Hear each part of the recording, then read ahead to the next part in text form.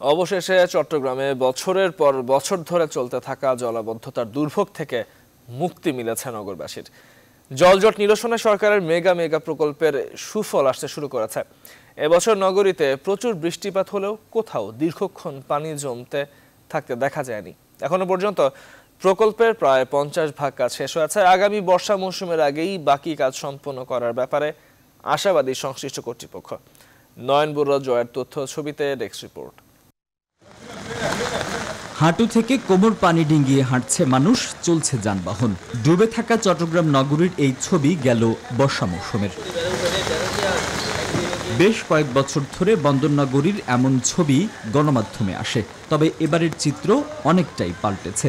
মৌসুমী বায়ুর প্রভাবে এবার নগরীতে প্রবল বৃষ্টিপাত হলেও কোথাও দীর্ঘস্থায়ী জলাবদ্ধতার সৃষ্টি হয়নি। যে কাজগুলো হচ্ছে সেনাবাহিনী আন্ডারে প্রকল্প যেগুলো কাজ হচ্ছে ওগুলোতে মোটামুটি আমরা সুফলটা পাচ্ছি। এখন কিছু কিছু পাচ্ছি আমরা শুধু পুরোটা এখনও পাই নাই। আগের থেকে ভালো আছে তবে তাড়াতাড়ি কাজ শেষ করলে আমরা হয়তো আরও সুফলটা পাবো।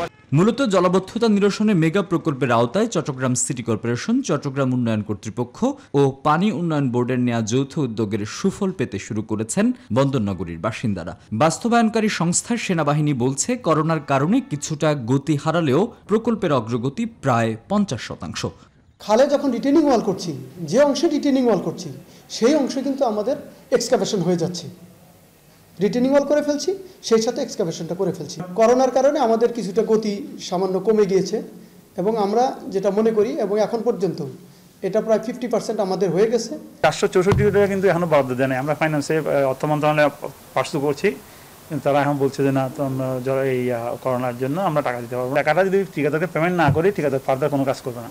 চলতি বর্ষা মৌসুমে জলাবদ্ধতার সমস্যা হবে না জানিয়ে সিডিএ চেয়ারম্যান বলছেন প্রকল্পের শতভাগ সুফল পেতে আরও কিছুদিন সময় লাগবে। কিছুদিন আগে যে বৃষ্টিপাত হলো কিন্তু চট্টগ্রাম শহরে কোনো জায়গায় জলবদ্ধতা হয়নি। কাজ এগিয়ে যাচ্ছে এটা শেষ হলে জনগণ সুফল পাবে। তবে জলাবদ্ধতার স্থায়ী সমাধান পেতে ড্রেন খাল নর্দমা পরিষ্কার পরিচ্ছন্ন রাখার পাশাপাশি বাসিন্দাদের আরও দায়িত্বশীল হওয়ার আহ্বান জানিয়েছেন সংশ্লিষ্টরা। Desk report news twenty